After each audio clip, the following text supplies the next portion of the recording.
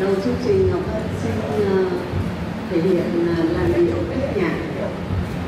Đây là đây là làn điệu ờ, uh, lồng cổ gần như là cổ nhất từ thế kỷ thứ 15.